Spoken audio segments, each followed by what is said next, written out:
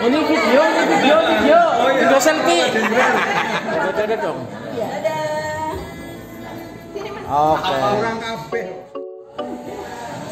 Ya, assalamualaikum guys. Berjumpa lagi dengan Bang Story. Setelah melakukan reuni di Jakarta, saya pulang ke Tegal dengan kendaraan teman dan dari Selawi ke Bumiayu naik kereta api guys, yakni kereta api Joglo Semarkerto. Jangan lupa subscribe Bang Story di YouTube. Mantap. Ke Bumiayu guys, pulang setelah kemarin naik Kamandangkan pulangnya pakai Joglo Semarkerto. Sama tiketnya ekonomi 50 ribu. Eh, kita cek coba ya. Lama perjalanan kita cek nanti ya. 1149 sampai 1306 ya sampai Bumiayu ya menurut tiketnya. Ya ini tempat counter check in dan saya pun langsung check in ya karena sudah lebih dulu beli online guys. Stasiun Selawi kali ini tampak sepi ya guys. Eh, peron masih kosong. Mungkin karena saya datang ke bagian kali ya dan ini jadwal perjalanan kereta api di Daob 5 Purwokerto karena stasiun Selawi adalah bagian dari Daob 5 Purwokerto kita saksikan ini lewat jalur tengah langsung ya guys. Kereta api barang ini.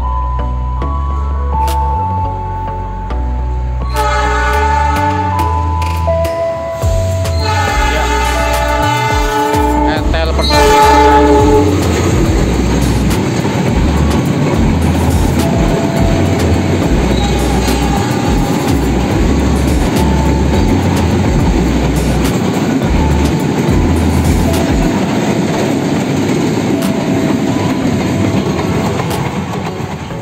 ya ini gerbong kereta ekonomi Joglo Semarang guys?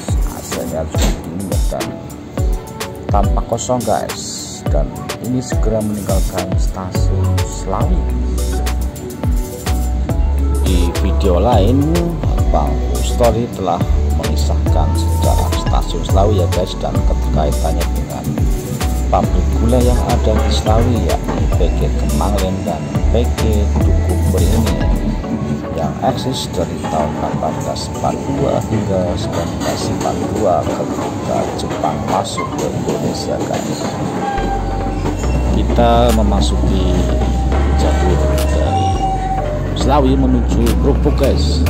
Dan stasiun yang aktif di jalur ini hanyalah Selawi dan Krupuk ya guys. Karena Bala Pulang dan Margasari yang dua stasiun kini sudah tidak berfungsi guys.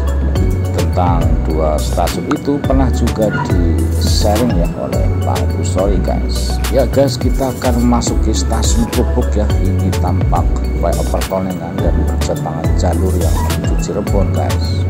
Sebelum ada flyover di sini dulu sangat rawan kemacetan ya guys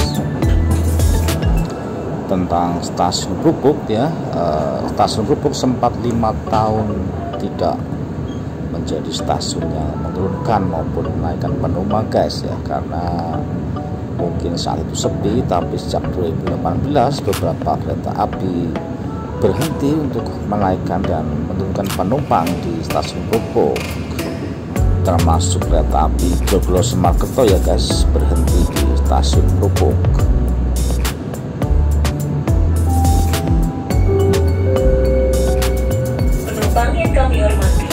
sesaat lagi kereta api Joglo Semarkerto akan tiba di stasiun Propo.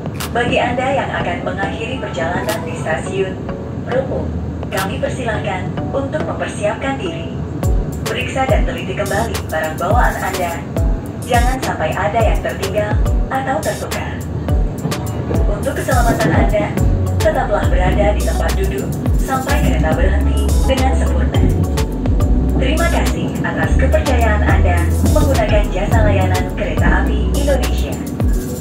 Sampai jumpa pada perjalanan berikutnya.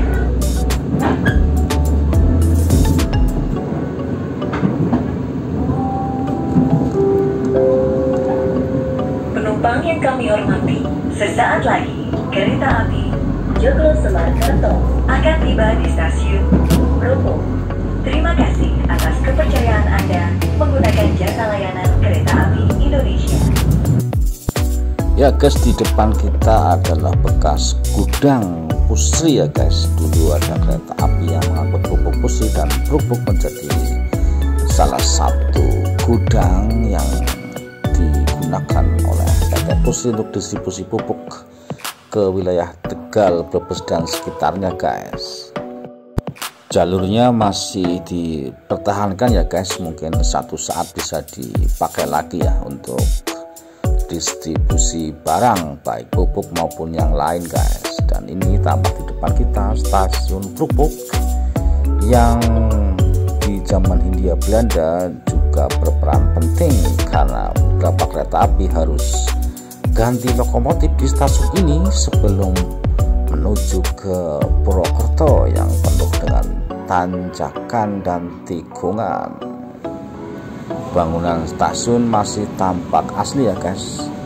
Contohnya bangunan yang jadi musola ini ya khas peninggalan Belanda guys. Ya ini berdiri cukup lama di Pupuk cukup lama ya guys berhenti di Pupuk Jolos Makertonya nih gudang pupuk dulu guys di sebelah sana utara Belanda nih masih tampak bangunannya. Dipertahankan. Ya guys berhenti cukup lama rupanya karena harus disusul oleh kereta api Taksaka ya dari Jakarta lewat Cirebon kemudian menuju Jogja guys. Dan ini rupanya yang menjadikan Joglo Semarkerto Selawi ke Bumiayu lebih lama daripada sebaliknya guys. Ya ini masuk stasiun. Ini nggak pernah berhenti guys ini. Dan karena masih perbaikan ya. Jembatan kali gelagah jadi harus antri nih untuk melewati jalur hilir antara Linggapura dan Bumiayu guys Ya tadi saya tanya ke Pak Kondektur kenapa berhenti di Linggapura karena ternyata menunggu kereta api Taksaka yang tadi menyusul di stasiun Pupuk untuk sampai ke stasiun Bumayu dulu guys. Dan ternyata aturan kereta api tidak boleh dalam satu petak.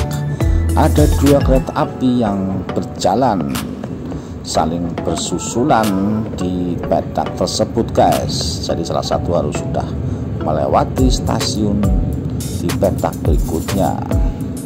Dan ini rupanya yang menjadikan Joglos Markerto lebih lama juga ya guys. Perjalanan dari Selawi ke Bumiayu dibanding sebaliknya ya. Ada dua sebab ternyata nih guys. Pertama disusul oleh Taksaka dan kedua menunggu kereta api Taksaka yang tadi menyusul melewati stasiun Bumi Ayu guys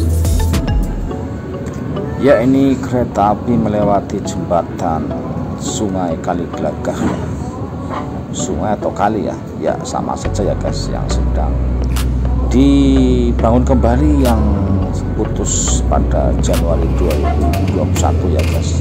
Di mana seluruh tiang dirobohkan dan dibangun jembatan baru dan konon. Nanti hanya ada satu tiang di tengah guys kereta terasa sangat lambat karena ini tanjakan dan tikungan sekaligus ya guys. Ya nih guys stasiun Bumi Ayu nih. Segera turun di Bumi Ayu. Dan tepat 13.05 ya lebih cepat satu menit guys sampai di Bumi Ayu dan seperti biasa Joglo Semarkerto berpapasan dengan kereta api Jakarta, Jombang, Pasar Senen dan penumpang pun harus menunggu bangun kereta lewat untuk menuju pintu keluar. Jangan lupa.